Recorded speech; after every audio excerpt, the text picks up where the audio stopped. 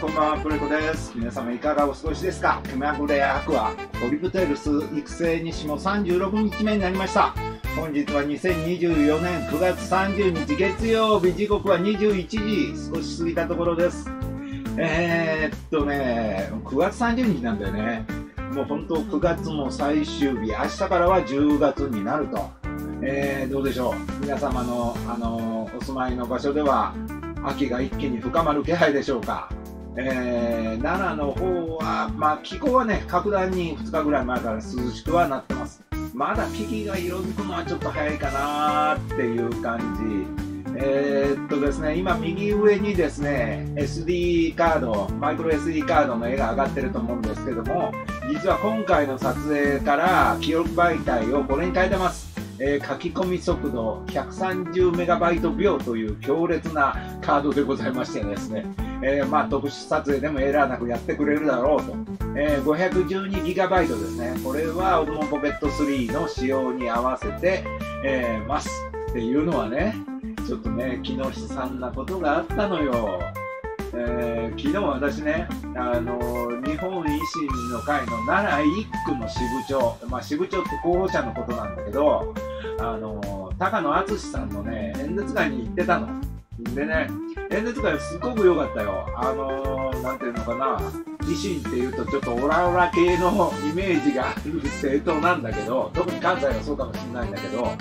あのね、ほんとフレンドリーで爽やかで、あの、時間がね、3時間もあったにもかかわらずね、あの、すっごくなんかいい雰囲気あの、最後まで終わった演説会。えー、まあ、高野さんの人族だと俺は思ってんだけどね、あの、高野さんってね、一見に太鼓だったのは、彼ものすごく、なんていうのかな、ピュアなとこがあって、真面目なんですよね。だから、多分ね、あのー知名度がほとんどない方なんで、あの印象付けなきゃってちょっとね無理された気もしますでまあ維新さんもそういうとこあるんでねていうかなアテンションエコノミーっていうんですか？あの人気をねなんていうのかなわざとマスコミ使って盛り上げるみたいなとこあるんでね内容より数だっていうようなアピールの仕方をされる党としてもその傾向が、まあ、吉本なんかのねあの話よく言われてますけどでもね昨日は本当違ったね。あの何、ー、て言うのかなまず構成が良かった。構成が良かったっていう前に文句だけ言っとこうかあのね昨日のその演説会で俺が不満だったのは、えーまあ、山下知事も入ってらっしゃったんだけど冒頭ね、20分以上山下知事が自分の政策説明されたんですよ。で、ご本人も言ってらっしゃったんだけど、内容っていうのはね、9月にあった県政報告会とほとんど内容かぶってるのよね。で、新しい支部長さんのさ、あの、なんていうの、アピールのための会合で、冒頭、なんていうの？あの、巻きが入るまで、あの、関係ないこと喋るってどうよとは思ったね。ヤマピーこういうとこほんとセンスないんだ。多分ね、党内の人も分かってると思うよ。あの、人間の集中力って大体まあ15分が限界だって言われてるんですよね。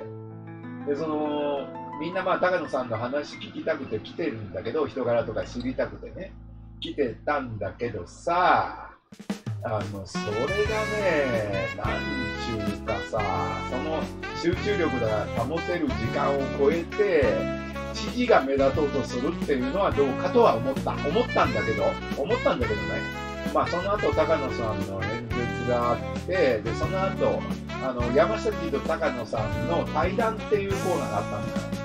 ね、結構ね、あの、なんていうのかな、あの、山下知事、高野さんをフォローしてたよね、なんか後輩としてね、結構あったかくサポートされてるのを感じてて、で結構、あのなんていうのかな、これもちょっとびっくりしたんだけど、立憲のサポーターだった方が何人か、20人ぐらいかな、わかんないけど、あのメインになってて、その中のお一人が、ちょっとね、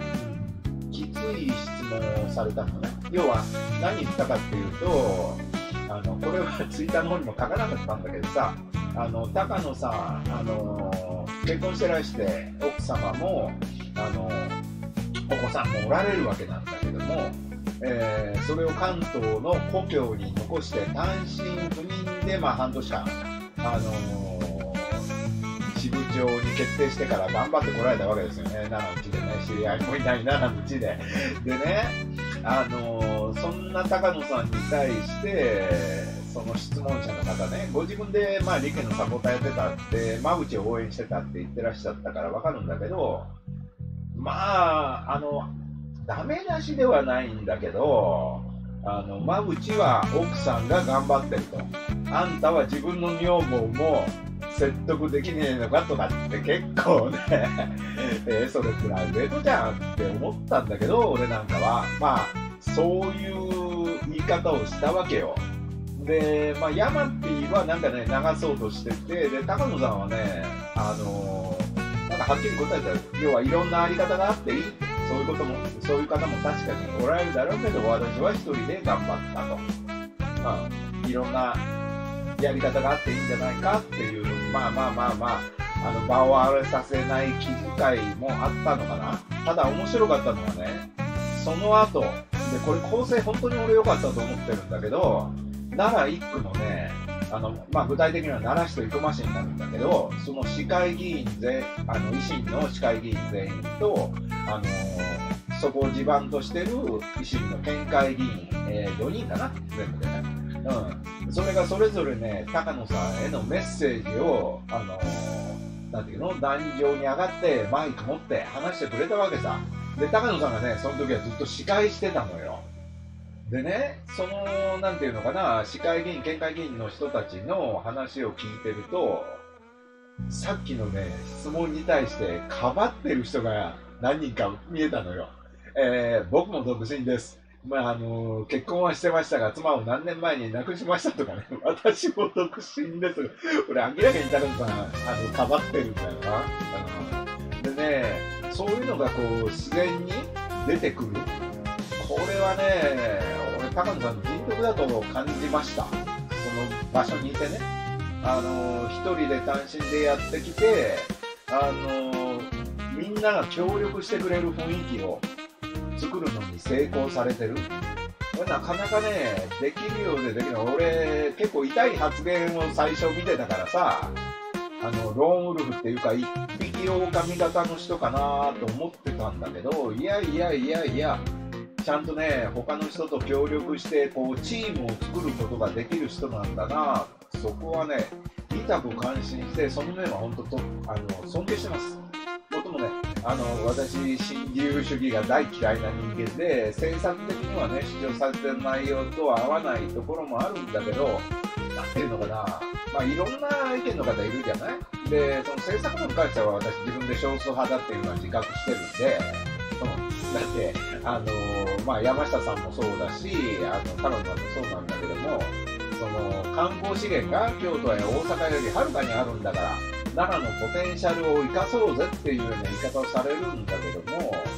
俺なんかはね、ちょっとひねくれてんだけど、奈良の遺産ってね、なんかご先祖様の墓みたいに感じてるとこあってさ、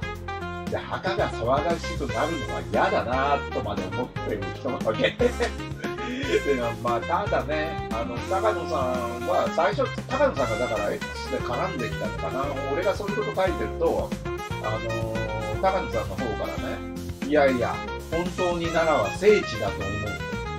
で祈りが何よりも大切な観光資源だっておっしゃったんで、おっと思ったんだけど、ただまあ昨日の演説会でもね、あのまあ、これ維新の人、まあ、他の人への配慮もあるのかもしれないけどね、東さんなんかしょっちゅうそれ言ってるし、あの簡単にね、うん、ライドシェアを口にされたのはね、ちょっとね、やっぱ考え方違うなぁと感じました。結構長回しで撮ってるとこれ、しゅうちゃんにピント合ってねえな。あのー、タップしてね、合わせるんだけど、タップした時にね、レンズの位置が多分動いてるんだよね。ちょっとやり方考えないといけないな。だからね、なんか、カメラを被写体に近づけようとするとこんなピンボケになってるんですよ。ある程度ね、離れてるとさすがにね、あの、スタビライザーが中心のマシンだけあってね、あの、ピントはオートで合わせてくれるんですけどね、距離感がね、結構難しかったりしますね。はい。で、まあ、そんなこんなでね、あの、いわゆる DQN、録音っていうの、そういう感じが一切ない、あの、昨日の高野さんの演説会でしたね。これ大きいと思いますよ。ともかく、あの、関西弁だけでもね、中央のマスコミの人なんか、何人からか直接聞いてんだけどね、それだけでも柄悪いっていう印象を持たれちゃうんでね、そういう意味では関東中心の高野さんが支部長になられたっていうのは、逆にあのいい印象あるんじゃないかな、はっきり言って今、あの世情はね、維新さんに半目ですわ。あの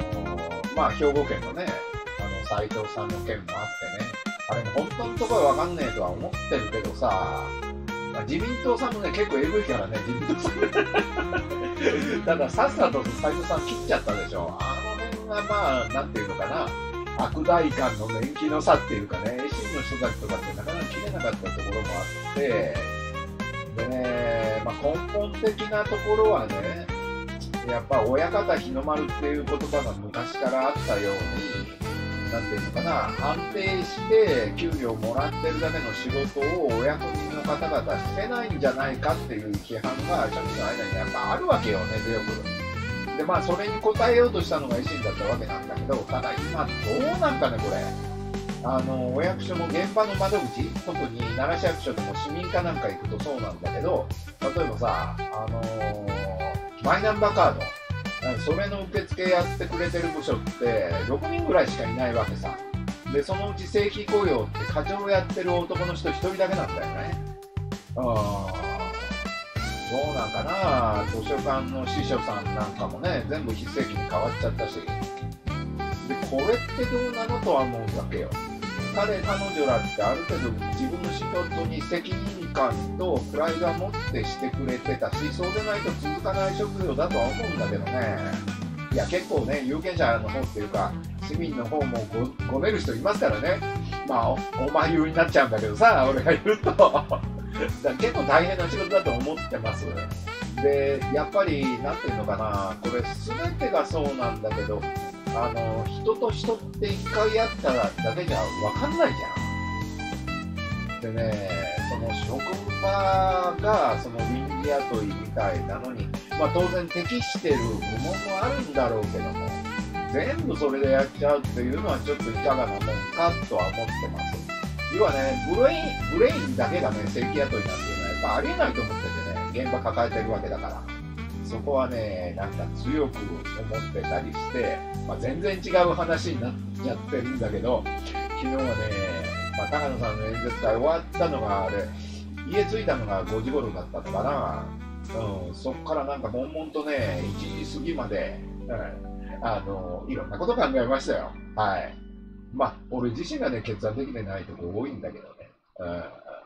あえっと、本当にね、これ長いビデオ、全部でね、多分18分ぐらい撮ってるんですよ。えー、しかも全部スローモーションで通し撮りしてまして。で、その間ね、あの書き込み遅延の警告はやっぱ1回も出ませんでした。だから素直に最初からこのカード買っとけよよくやるんですよ。ちょっとね、1000円か2000円ケチったがために結局買い替えるっていう。今回の作でしたね。いやいや、実際にはだから4倍速だから18分つっても、四四16、まあ5分程度だったのかな、撮影時間。うん、まあまあ、それにしても、しずちゃんもこれ、ほとんど動いてねえんだから。最後の方で先行ったか、ちょっと動くみたいなんだけどね。ああ、そうそう。あの時間が時間持て余し気味なんで昨日の話にもう一回戻すとえっとね最後の帰りがけね帰りがけ受付の前通ってまあ私よく世間話するんですよちょっと時間あるとそうするとね見覚えのある顔の女性がおられたのねえー、ひょっとして肉の支部長の方ですか？っつったら服部です服部千佳さんあの奈良肉っていうのはねまああのなんていうの？行政区分としてはなんかすっごい数のが集まってるんだけど、まあ、天理市中心のあの中南部中部ですね。奈良県中部の選挙区です。でそこに維新から立候補されたんですけどね。あのー、ご本人だと分かった途端に私が何言ったかっていうといやー、よりによって大変な選挙区から出はるね、言うたんですが。いや、大変な選挙区っていうのは、ほらさ、あの高市早苗さんの選挙区なのよ。で一方は、まあ、総裁選に2回も出るような方で、大臣も何回もこなしてらっしゃるし、まあまあ、だからちょっと問題がないわけじゃないんだけど、そういう方の選挙区ってやっぱ難しいわけさ。前回の統一地方選の時も、えーと、とさんっていう立憲の議員と、まあ、宮本さんっていうね、あの共産党の方が対抗馬として立たれたんですけど、まあ、話にならなかったですね。言い方悪いけど。で、なん一個はね、馬渕さんがなんか共産党と野党連携みたいなのやったのよ。あ、もうぼちぼち終わるかな。それをね、2区はね、やんなかったんで、それになっても、うん、高市の周辺力にね、なかなかかなわねえのになんでそっち連携しないの？その辺がね、馬渕さんが立憲のリーダーとしていかがかなって思うところ。えー、しゅうちゃん逃げちゃって、奥引っ込みましたね。えー、っと、これで最終に近づいてるのかな。なんとか話つなげそうだね。いやいやいやいや、明日はね、ちょっとね、これカードに安心感が出たんで、えっ、と、浮見堂あたりまで行ってこようかなってちょっと思ってますね。512あったら多分結構取れるんだよ。うん。何分ぐらい取れるんですかね。えー、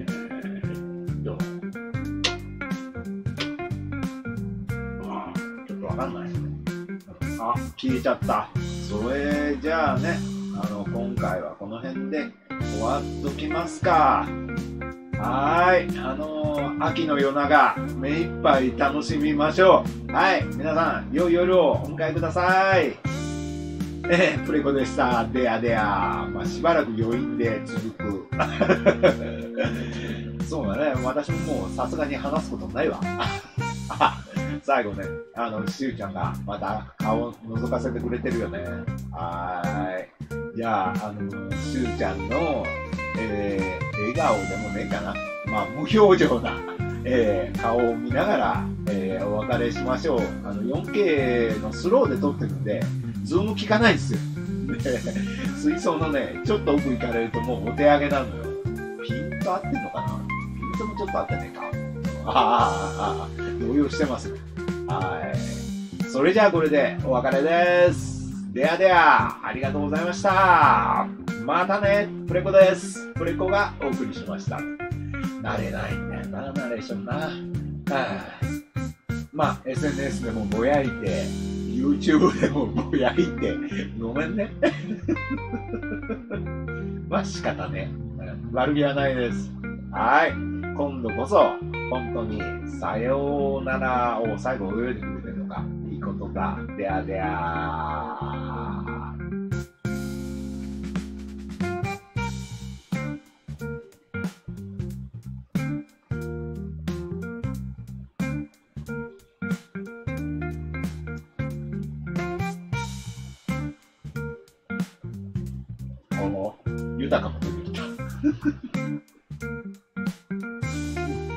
た。おやすみなさい。やだー。